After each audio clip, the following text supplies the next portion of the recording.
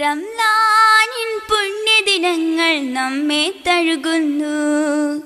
റബ്ബിൻ ഗുണമേറും മാസം മിന്നി മറയുന്നു. ഇരവും പകലും നാമെന്ന നിന്നെ വാഴ്ത്തുന്നു. ഇരു കൈയും നീട്ടിക്കൊണ്ടിത നിന്നോടോതുന്നു.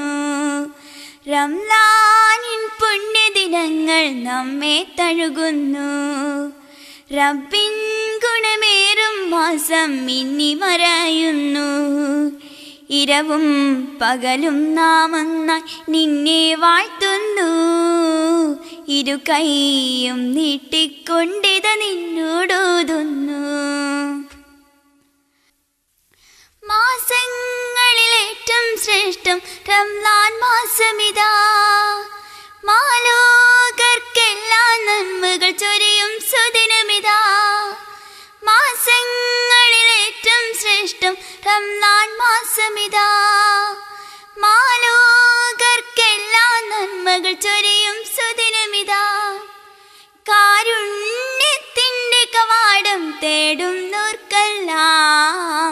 കനിവാലെ നൽകും റബ്ബ് റഹ്മത്തിൻ ചഷകം السلام عليكم ورحمة الله بسم الله الرحمن الرحيم الحمد لله رب العالمين وسبحان الله العظيم ولا حول ولا قوة إلا بالله العلي العظيم ربنا تقبل منا إنك أنت السميع العليم وتب علينا إنك أنت التواب الرحيم. واغفر لنا إنك أنت الغفور الرحيم. وارحمنا إنك أنت أرحم الراحمين. اللهم صل على محمد وعلى آل محمد كما صليت على إبراهيم وعلى آل إبراهيم. اللهم بارك على محمد وعلى آل محمد. كما باركت على إبراهيم وعلى آل إبراهيم إنك حميد مجيد. يا أيها الذين آمنوا اتقوا الله حق تقاته ولا تموتن إلا وأنتم مسلمون. أما بعد فإن خير الحديث كتاب الله وخير الهدي هدي محمد صلى الله عليه وسلم وشر الامور محدثاتها وكل محدثه بدعه وكل بدعة ضلالة وكل ضلالة في النار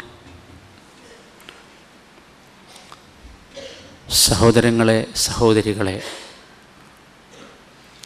അള്ളാഹുവിനെ സൂക്ഷിച്ച് ജീവിക്കണം എന്ന് പ്രത്യേകമായി വസയ്യത്ത് ചെയ്യുകയാണ്. ദീർഘമായി സംസാരിക്കേണ്ട സമയങ്ങളല്ല നമ്മുടെ മുമ്പിലുള്ളത്. സംസാരം അവസാനിപ്പിച്ച് കൂടുതൽ പ്രവർത്തിക്കേണ്ട സമയമാണ്. എന്നാൽ നമ്മുടെ സംസാരവും ഒരു സൽക്കർമ്മത്തിലാകും. ഈ സംസാരം കേൾക്കുന്നതും ഒരു സൽക്കർമ്മത്തിലാണ് എന്ന വിചാരത്തോടു കൂടി അങ്ങനെ ആകട്ടെ എന്ന നെയ്യത്തോടു കൂടിയാണ് നാം ഇവിടെ ഇരിക്കുന്നത്. അങ്ങനെയുള്ള ഒരു നെയ്യത്ത് പുതുക്കിക്കൊണ്ട് അള്ളാഹുവിന്റെ ഈ ഭവനത്തിൽ അള്ളാഹുവിന്റെ ദീനിനെക്കുറിച്ച് മനസ്സിലാക്കാൻ വേണ്ടി അള്ളാഹുവിൽ നിന്ന് കൂലി ആഗ്രഹിച്ച് എത്തിക്കാഫിന്റെ നെയ്യത്തോടുകൂടി എല്ലാവരും പള്ളിയിലിരിക്കുക അള്ളാഹു ഈ ഒരുമിച്ച് കൂടൽ ഒരു സൽക്കർമ്മമായി അള്ളാഹുവിന്റെ അടുത്ത് നമ്മൾ ചെല്ലുമ്പോൾ വല്ലാതെ കനം തൂങ്ങുന്ന ഒരു സൽക്കർമ്മമായി നമുക്ക് മാറ്റിത്തരുമാറാകട്ടെ. ഒരുപാട് വിഷയങ്ങളെക്കുറിച്ച് നാം പഠിക്കേണ്ടതും മനസ്സിലാക്കേണ്ടതുമുണ്ട്. നാം ഈ ദുബായിൽ ഈ മലയാള ഹുത്തുബ ആരംഭിച്ചതു മുതൽ ഒരുപാട് വിഷയങ്ങളെക്കുറിച്ച് ചർച്ച ചെയ്യുകയും പഠിക്കുകയും മനസ്സിലാക്കുകയും മനസ്സിലാക്കിയ കാര്യങ്ങൾ മറ്റുള്ളവർക്ക് എത്തിച്ചു കൊടുക്കുകയും ഒക്കെ ചെയ്തു. അള്ളാഹു താല ഇത് ഇതിനു വേണ്ടി സൗകര്യം ചെയ്തു തരുന്ന എല്ലാവർക്കും അള്ളാഹു അർഹമായ പ്രതിഫലം നൽകുമാറാകട്ടെ. സഹോദരങ്ങളെ കഴിഞ്ഞ റമദാനിൽ നമ്മുടെ മക്കളോടുള്ള ചില ഉപദേശങ്ങൾ നൽകിയിരുന്നുവല്ലോ. അന്ന് തന്നെ കുറേ കുട്ടികൾ ഞങ്ങളോട് മാത്രം പറഞ്ഞാൽ പോരാ ഞങ്ങളുടെ മാതാപിതാക്കളോടുകൂടി കുറേ പറഞ്ഞു കൊടുക്കേണ്ടതുണ്ട് എന്നാവശ്യപ്പെടുകയുണ്ടായി പക്ഷേ അന്ന് സമയം കിട്ടിയില്ല. ഇന്നാകട്ടെ അത് പറയേണ്ടത് വളരെ അത്യാവശ്യമാണ് എന്ന് തോന്നുന്ന ഒരവസരത്തിലാണ് എന്ന് ഞാൻ നിങ്ങളോട് പ്രത്യേകം പറഞ്ഞറിയിക്കേണ്ടതില്ലല്ലോ. ഒരുപാട് കാലമായി ഇത് പറയാൻ എന്റെ മനസ്സിൽ മുട്ടി നിൽക്കുന്നു. അതിന് പ്രത്യേകമായ ഒരു കാരണവുമുണ്ടായി. മാസങ്ങൾക്ക് മുമ്പ് ദുബായിലെ അൽഖൂസ് മക്ബറയിൽ ഒരു ഇവിടെയുള്ള ഒരു സ്വദേശിയായ ഒരു വലിയ മനുഷ്യന്റെ മയ്യത്ത് സംസ്കരണവുമായി ബന്ധപ്പെട്ട് ഞാൻ പങ്കെടുത്തു. അപ്പോൾ ഈ മരിച്ച മനുഷ്യന്റെ ഒരു മകൻ. അദ്ദേഹം ഒരു സാധാരണ മകനല്ല. ദുബായിൽ അറിയപ്പെടുന്ന ഒരു പണ്ഡിതനാണ്. അദ്ദേഹം ചെയ്ത ചില കാര്യങ്ങൾ മനസ്സിൽ വല്ലാത്ത പ്രയാസമുണ്ടാക്കി. അന്ന് തന്നെ ഞാൻ ചില സുഹൃത്തുക്കളോടത് പറയുകയും ചെയ്തിരുന്നു. ഒരു മകനെ അയാൾക്ക് ഒരുപാട് മക്കളുണ്ട് മരിച്ച ആൾക്ക് പക്ഷേ ഒരു മകനെ അദ്ദേഹം വളർത്തേണ്ട വിധം വളർത്തിയപ്പോൾ ഉണ്ടായ ഒരു വല്ലാത്ത അവസരം ഒരു ഒരു ഒരു അവസ്ഥ. അദ്ദേഹത്തിന്റെ മയ്യത്ത് കുളിപ്പിച്ചത് ഈ മകനും അയാളുടെ മക്കളും കൂടി.